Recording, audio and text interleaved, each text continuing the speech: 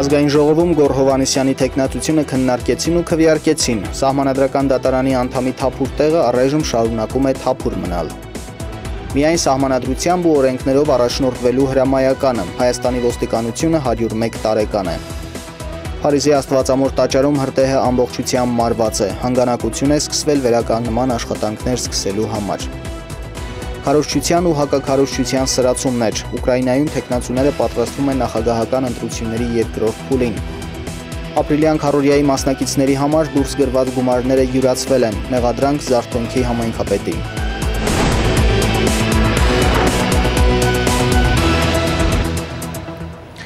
Բարև ձեզ Շանթ հեռուստաընկերության եթերում հորիզոնը շարունակում է աշխատանքը։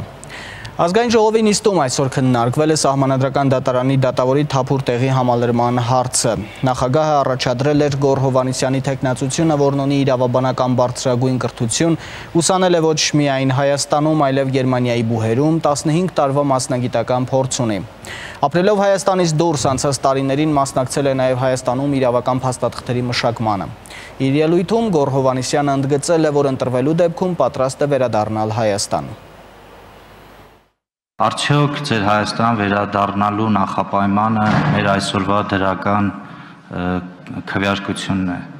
թե դուք կայացրել եք որոշում վերադառնալ Հայաստանի Հանրապետություն,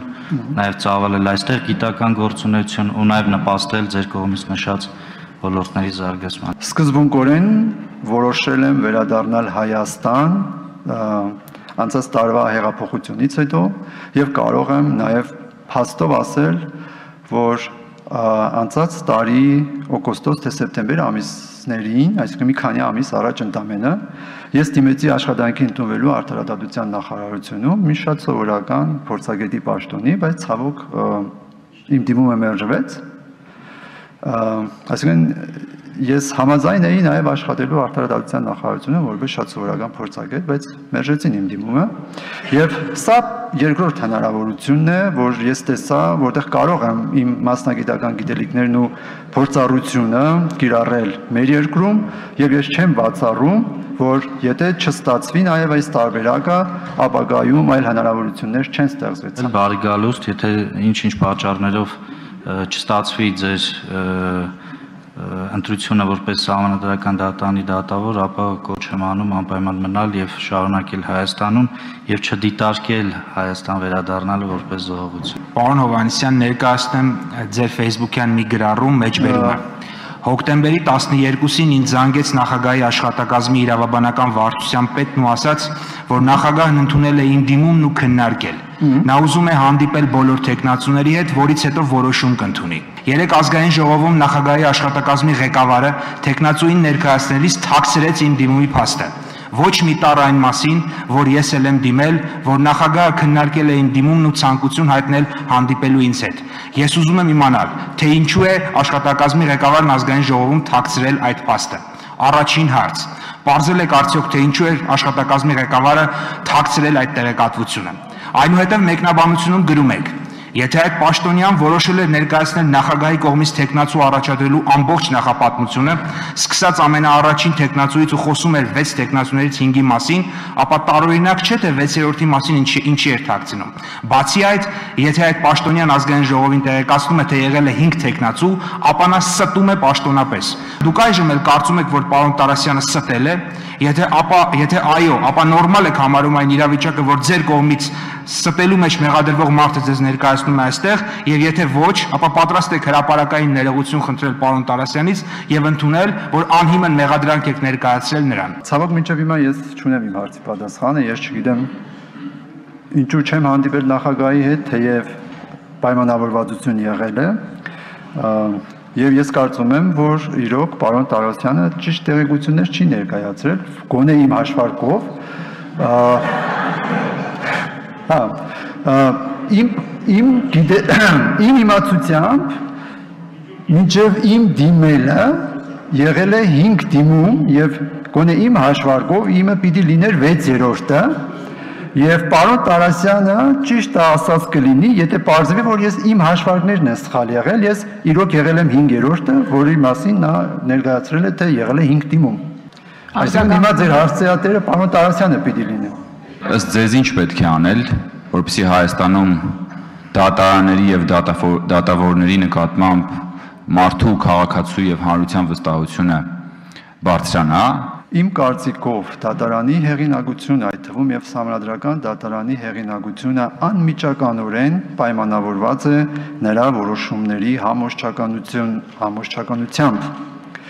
Եթե դատարանի որոշումը վեճի կողմերին չի համոզում, այսինքն կողմը կարտալով չի մտածում, որ բայց դատարանը իրոք ճիշտ է որոշել։ Նա դատարանի հանդեպ մեծ վստահություն չի ունենա ու եթե դա բարբերաբար կրկնվող երևույթ է, հա, հնարավոր չի բացառել, որ դատարանի որևէ որոշում, որևէ մի պահի ինչ որ մի կողմի չի բավարարի ու համոզիչ չի թվա։ Դրա համար էլ մենք ունենք նաև վերանայելու հնարավորություն մյուս հայցյաններում։ Քննարկումներից հետո ազգային ժողովում կազմակերպվել է փակ գաղտնի քվեարկություն։ Արդյունքներն ամփոփվել են քիչ առաջ։ 24 կողմ 75 դեմ ձայների հարաբերակցությամբ Գոր Հովանիսյանի տեխնացությունը չի հաստատվել։ Հայաստանի ոստիկանությունը 101 տարեկան է։ Օրվա առիթով հանդիսավոր միջոցառում է կազմակերպվել, որին մասնակցել է նաև վարչապետ Նիկոլ Փաշինյանը։ Ոստիկանության օրվան նվիրված տոնին վարչապետին ու կառավարության անդամներին դիմավորել է ոստիկանության պատվո պահակախումբը, որից հետո վարչապետը հանդես է եկել ելույթով։ Հայաստանի Հանրապետության վարչապետին զեկուցում է Հայաստանի Հանրապետության ոստիկանության պատվոպահակախումբը Հայաստանի Հանրապետության ոստիկանության 101-րդ տարեդարձի կապակցությամբ շարված է Հայաստանի Հանրապետության ոստիկանության պատվոպահակախմբի պետ գնդապետ Միրզոյան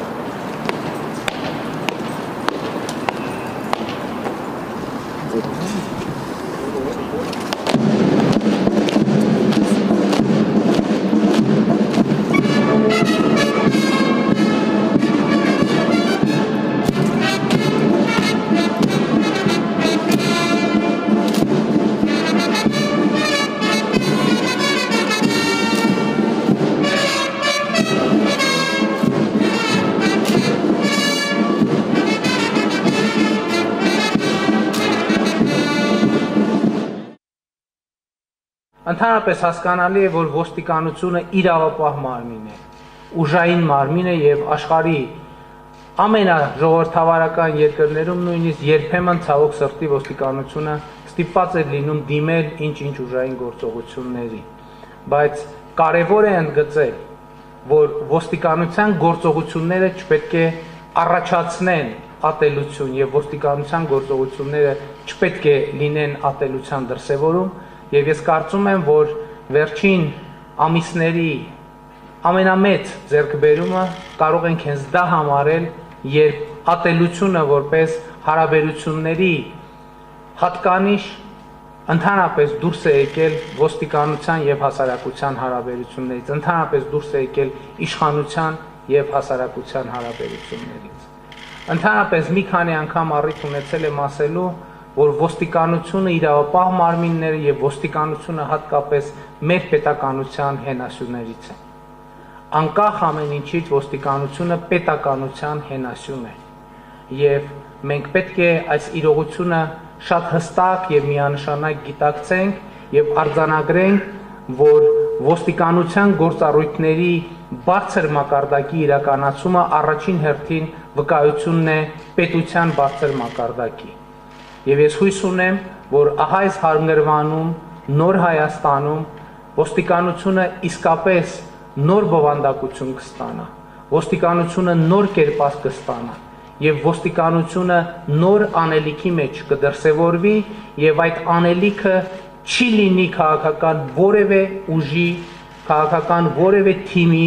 կամ որևէ անձի ծառայելը։ Հայաստանի Հանրապետության ոստիկանությունը պետք է ծառայի սահմանադրությանը,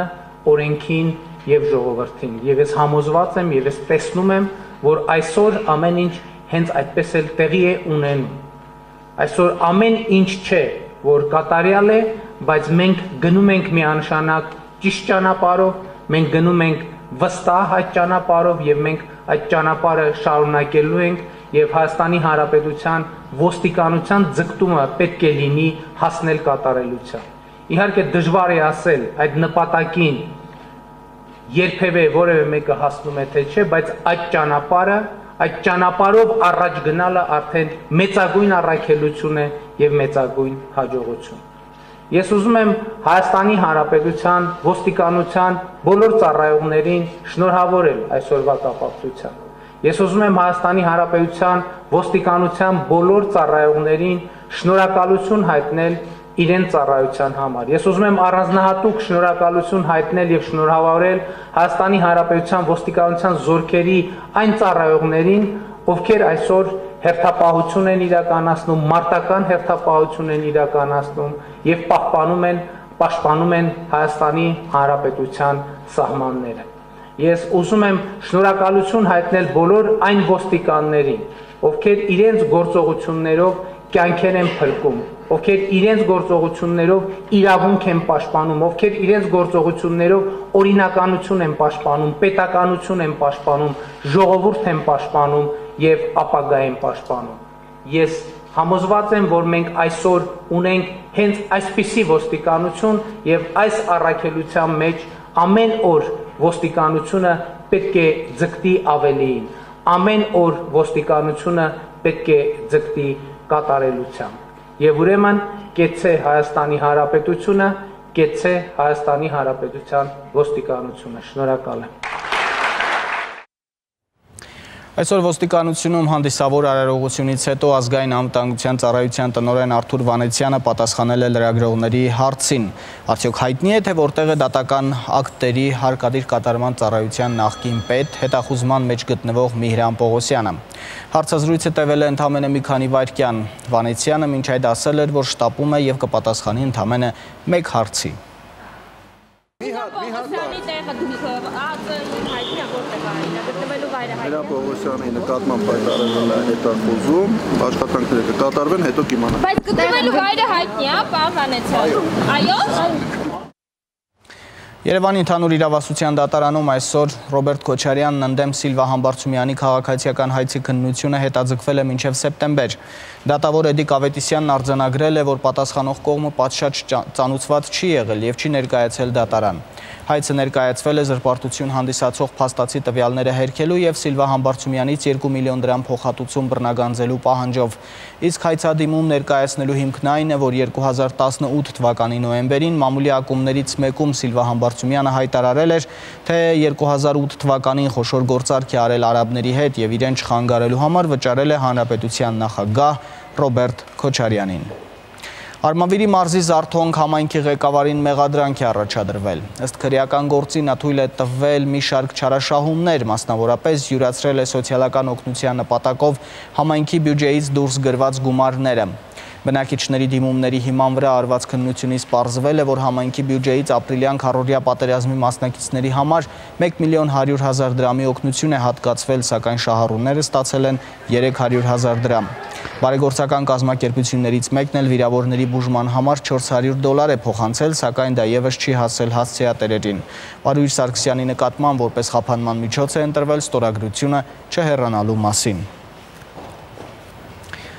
Որքանով է բնականոն ընթանում Հայաստան Եվրամիություն համաձայնագրի վավերացման ընթացքը, ինչ ակնկալիքներ պետք է ունենալ դրանից, որոնք են Եվրոպայի եւ Ադրբեջանի հարաբերությունների զարգացման հնարավոր ուղիները։ Այս խնդիրների շուրջ Արամ Աբրահամյանը այսօր զրուցել է միջազգայնագետ Նարեկ Գալստյանի հետ։ Առաջարկում եմ դիտել մեկ հատված այդ զրույցից, իսկ տեսագրությունը ամբողջությամբ հասանելի է Շանտ News-ի YouTube-յան ալիքում եւ shantnews.am կայքում։ Ընդհանրապես վավերացման գործընթացը, հա, ԵՄ-ի հետ համաձայնագրի կարծես թե հարթ է ընթանում, թե դուք ցանկանեք որ ավելի արագ լիներ, ինչպես լինի։ Հիշեցնեմ, որ ներկայումս գործող իրավական գլխավոր հիմքը գործընկերության համագործակցության համաձայնագիրը վավերացվել է 3 տարի ստորագրումից հետո այսինքն անգամ այն ժամանակ կային այդպիսի տեխնիկական խնդիրներ։ Ոստի ակնկալել, որ շատ արագ 1 տարում դա կլիներ, վավերացման process-ը կլիներ, կարծում եմ ճիշտ չէր։ Ոստի ես հիմա չեմ էլ ակնկալում, որ պետք է շատ արագացված լիներ դա։ Բայց քաղաքական խոչընդոտները դες չկան։ Այս պահին ամեն դեպքում չկան եւ այս ընթացքում էլ ըստ էության չեն էլ ցակել։ Պարզապես պետությունները իրենց ազգային ընթացակարգերին համահունչ են այդ process-ը առաջ տանում։ Մեզ պարզապես այստեղից կարող է թվալ, որ չգիտեմ ինչ որ քարեր են թաքնված յետևում, բայց իրականում մեծ ամասամբ դրանք պարզապես ընթացակարգային խնդիրներ։ Ադրբեջանը նույնպես բանակցություններ է վարում նմանատիպ համաձայնագրի վերաբերյալ։ Դա պիտի մենք խանդենք, չգիտեմ, ջղայնանանք եւ այլն։ Ոչ, այն ժամանակ, երբ մենք պատրաստվում ենք կնքել ասոցիացիան համաձայնագիր, Ադրբեջանի հետ եւս սկսել էին բանակցություններ ինչ որ պայմանագիր ստորագրելու շուրջ։ Այսինքն այդ զրույցները, քննարկումները այն ժամանակ էլ արդեն կային։ Ոստի հիմա պարզապես արդեն արդյունքն է, որ պատրաստում են, մոտենում են արդեն այդ բանակցությունների ավարտին համաձայնագիր կնքելու շուրջ, բայց այն բովանդակությամբ չի լինելու այնպիսին, ինչպիսին օրինակ Վրաստանի, Մոլդովայի կամ Ուկրաինայի հետ, այսինքն տնտեսական ինտեգրացիա չի լինելու։ Այնպիսին է, ինչպես է Հայաստանի Մոտավորապես, պարզապես պետք է հաշվի առնենք, որ Ադրբեջանը Եվրոպական միության համար պաշտոնապես ունի էներգետիկ ռազմավարական գործընկերոջ կարգավիճակ եւ կարծում եմ, որ համաձայնագրում հենց այդ ոլորտն է շեշտադրվելու որպես համագործակցության առաջնային ոլորտ նույնպիսի եվրոպական երկիր է Ադրբեջանը, ինչպիսին Հայաստանն է, նույնքան, այսպես ասենք, եվրոպական ընկալմամբ եւ ձեր ընկալմամբ։ Այստեղ խնդիրը ձեր ձևակերպումն է, ինչ հասկանալ եվրոպական երկիր ասելով Եվրոպական միությունը 2016 թվականի գլոբալ ռազմավարության մեջ կամ Տիկի Մոգերինի փաստաթղթում նշում է, որ Եվրոպական միությունը անցնում է այսպես կոչված սկզբունքահեն պրագմատիզմի իր արտաքին քաղաքականության մեջ եւ որտեղ որ հնարավոր է իր նորմերը առաջ կտանի եւ որտեղ որ հնարավոր չէ առաջնորդվի պրագմատիզմով։ Իրականում սա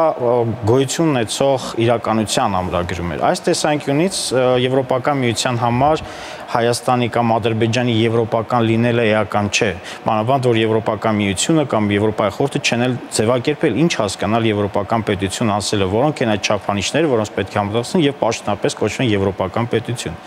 բայց Եվրոպական միության հատկապես տնտեսական հարաբերությունները Ադրբեջանի հետ շատ ավելի զարգացած են, շատ ավելի խորն են եւ շատ ավելի մեծ նշանակություն են Եվրոպական միության համար։ Նորից նշեմ, խանդի խնդիր չի այստեղ, այլ այսպես ասենք ռեալ պոլիտիկ, հա։ Եվ Ադրբեջանն է դա գիտակցում, եւ Եվրոպական միություն եւ կարծում նաեւ մեր ամեն դեպքում փորձագիտական շրջանակ եւ քաղաքական էլիտան դա հստակ գիտակցում։ Փարիզի Աստվածամոր տաճարում 3 բռնկված հրդեհը ամբողջությամբ մարվել է։ Կրակն արագ է տարածվել, քանի որ 850-ամյա շինության կմախքը ամբողջությամբ փայտից է։ Ժամեր տևած հրդեհը ոչնչացրել է տաճարի տանիքը, սրածայր գմբեթն ու ժամացույցը։ Հրդեհաշիջման աշխատանքների ժամանակ մեկ հրշեջ է տուժել։ Տաճարից հաջողվել է դուրս բերել բազմաթիվ մասունքներ եւ գանձեր, դրանց թվում նաեւ փշե պսակը, որը խաչելությունից կարճ ժամանակ առաջ եղել է Քրիստոսի գլխին։